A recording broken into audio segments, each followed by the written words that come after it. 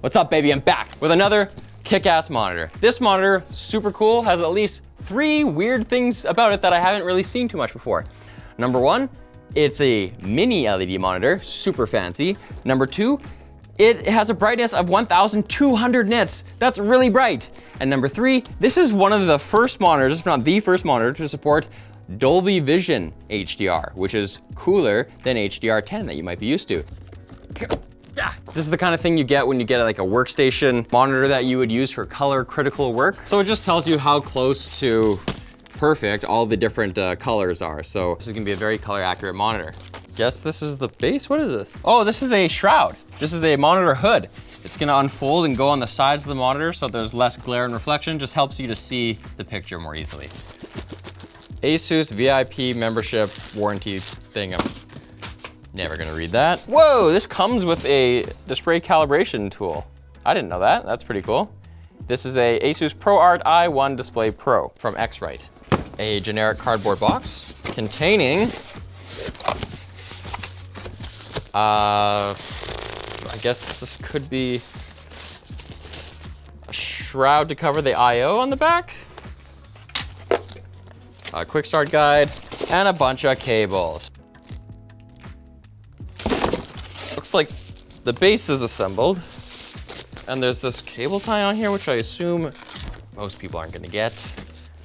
That's just because I'm special. Okay. Well, as long as it still has some stuff to peel, I'm happy. This has a pretty big wide base on it, which is nice for stability. This is a nice elegant stand. It's got this little curvature to it. A little nicer than corporate. I would call it executive. Okay, and here's the main event. I can already tell this thing is so thick. It's like, I'll tell you why. It's because it's HDR AF. High dynamic range AF. And a free boat. Uh. It's in. 32 inches. It's pretty big. You can see all these little badges here, basically showing off how awesome the color accuracy is on this puppy. So it's a true 10-bit panel. A lot of panels claim to be 10-bit, but what they really are is 8-bit plus FRC, which is frame rate control. It also says quantum dot technology, which means there's a quantum dot film in here, and that gives you really awesome colors and lots of them. And you need all that color accuracy if you wanna have a wide color gamut for awesome HDR. Let's check out the back.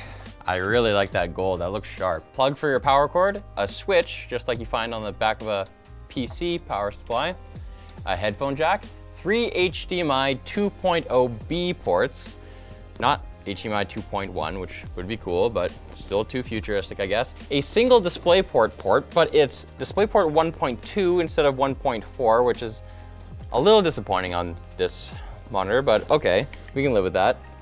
Then there's two Thunderbolt 3 ports, these Type-C ports down here, and that's so you can pass through and daisy chain through this thing with Thunderbolt 3, which is pretty cool. Uh, and then we have three USB Type A's over here, the regular kind, and a Kensington lock. Pretty nice looking buttons. The feel isn't great, honestly. You can tell they're all kind of connected. They all move together. When I press one up here, you can see these other ones move. And then you got a joystick, which I always like. And this is a pretty nice uh, some nice glyphs over here too. And of course, designed by Asus in Taiwan. Obvious Apple ripoff. A lot of vents here. See all this?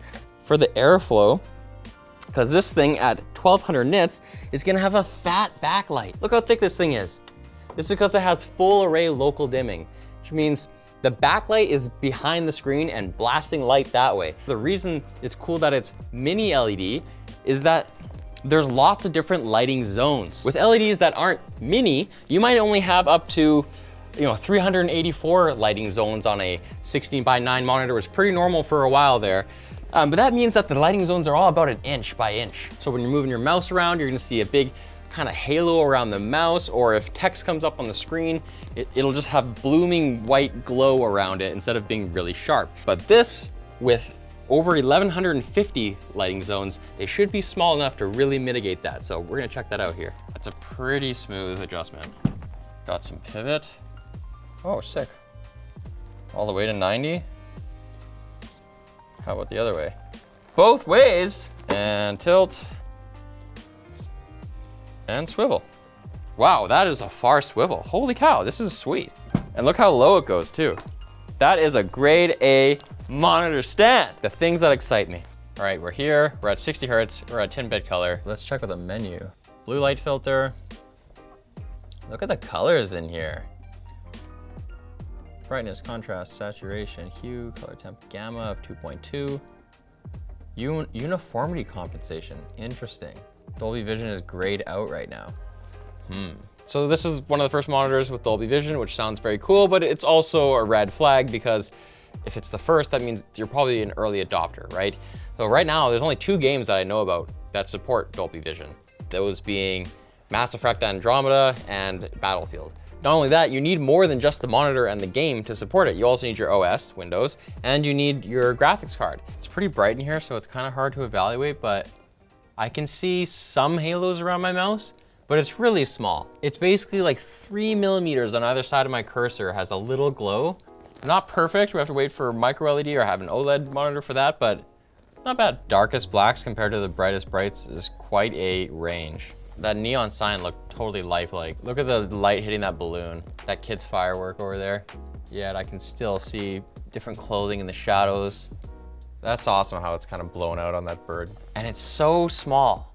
It's just on the bird's back. Pretty sweet showing in game, so let's check out some movies. That is max volume. Because there are two three watt speakers. Man, that light is so awesome. This movie really has awesome lighting. I love how there's just little bits of light just peeking through the shadows, little tiny glints off their armor and helmets where the rest is in shadow and dark. It's amazing, it's great.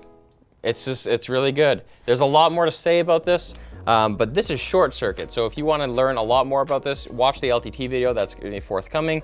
I mean, it should be great. It's 4,000 US dollars. This is a piece of equipment for professionals. It's not just for me to watch Dragon movies in HDR.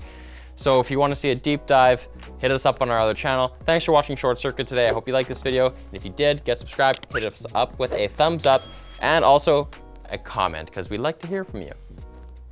See you later.